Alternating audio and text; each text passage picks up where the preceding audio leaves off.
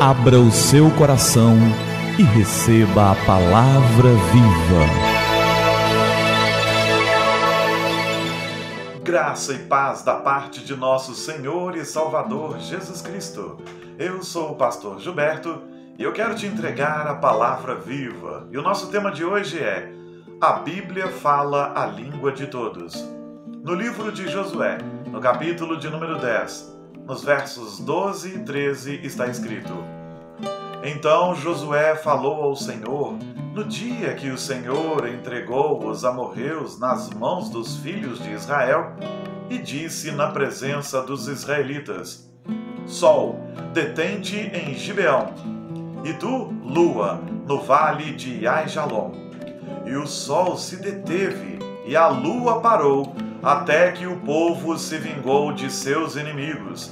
Não está, aí, não está isso escrito no livro dos justos? O sol, pois, se deteve no meio do céu e não se apressou a pôr-se quase um dia inteiro.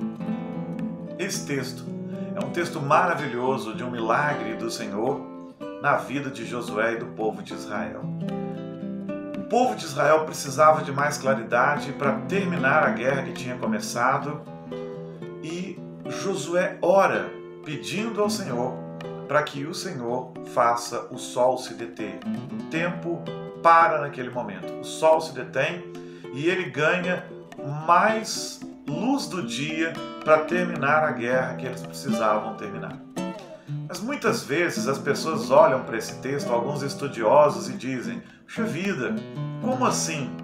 O sol parou, a lua parou. Como assim? Se a Bíblia é o livro de Deus e Deus sabe todas as coisas, por que é que está registrado que o sol parou, que a lua parou, se nós sabemos que na verdade a terra é quem precisaria ter parado? porque a Terra é quem gira em torno do Sol e a Lua é um satélite que está em torno da Terra. Então, por que é que está registrado assim na Bíblia? Está registrado assim porque a Bíblia é o livro que fala a língua de todos. A Bíblia não se preocupa em ser um livro científico, embora muitas vezes os cientistas eles se debrucem sobre a Bíblia para entender algumas coisas. A Bíblia é o livro dos princípios de Deus e não um livro científico. A Bíblia não é um livro de história, embora muitas vezes os arqueólogos e historiadores precisem dela e se debrucem sobre ela para entender algumas coisas. A Bíblia não é um livro de história, nem um livro de arqueologia. A Bíblia é a palavra de Deus que é pertinente para todos os povos, de todos os tempos, e a Bíblia fala a língua de todos. Se a Bíblia fosse escrita com o conhecimento que nós temos hoje e com a linguagem que usamos hoje naquele tempo, os povos daquele tempo não entenderiam. E os povos do futuro talvez a considerassem ultrapassada. Mas a verdade é que quando dizemos que o sol parou e a lua parou, as pessoas entendem perfeitamente. Deus parou o sistema solar, Deus parou todas as coisas por amor ao seu povo. Deus parou o movimento de rotação da Terra, o seu movimento de translação. O fato é que Deus operou um milagre por amor ao seu povo. E é isso que precisamos saber. E quando é dito da maneira que está na Bíblia, os povos de todos os tempos entendem. Todos, do passado, do presente e os do futuro entenderão.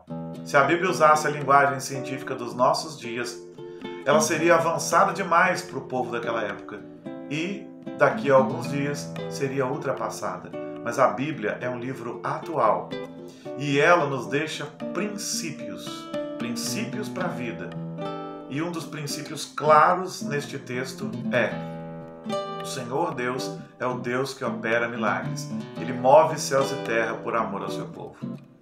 O outro princípio deste texto é: Deus ouve orações e age de maneiras espetaculares que nós nem podemos imaginar. E eu poderia encontrar princípios aqui, muitos outros, e falar deles para você, mas eu não quero falar agora dos princípios em si. Eu quero deixar bem claro para você o seguinte: a Bíblia fala a língua de todos. A Bíblia fala a língua de todos os povos e de todas as épocas. Por isso esse texto está registrado assim. O importante é você saber disso. Deus fala a língua de todos, em todos os tempos e em todos os lugares.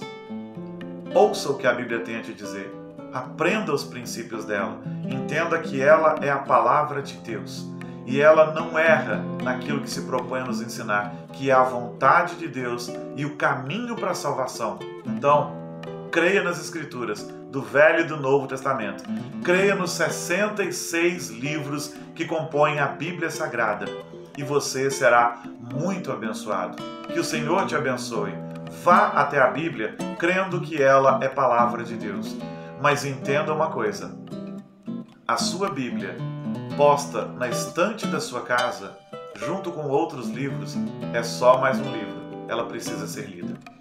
A sua Bíblia, aberta no Salmo 91, em cima de um móvel da sua casa, é só uma peça decorativa.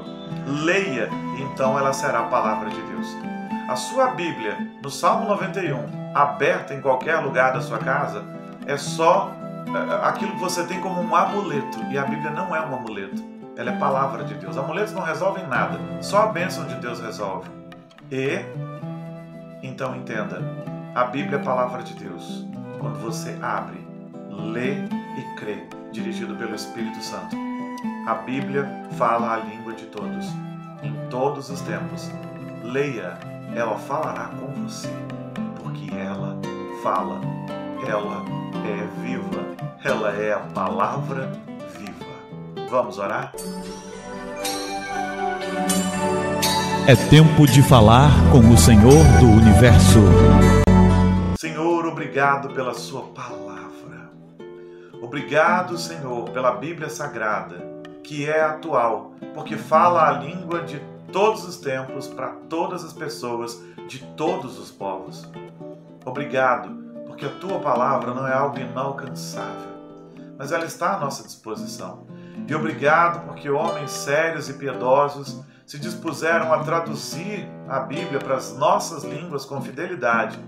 Muito obrigado, Pai querido, porque a Bíblia não é o livro de uma meia dúzia de homens acadêmicos, mas ela está disponível a todos nós. Obrigado porque o Senhor fez isso. E muito obrigado porque ela é a tua palavra que nos enche o coração e nos fala o coração.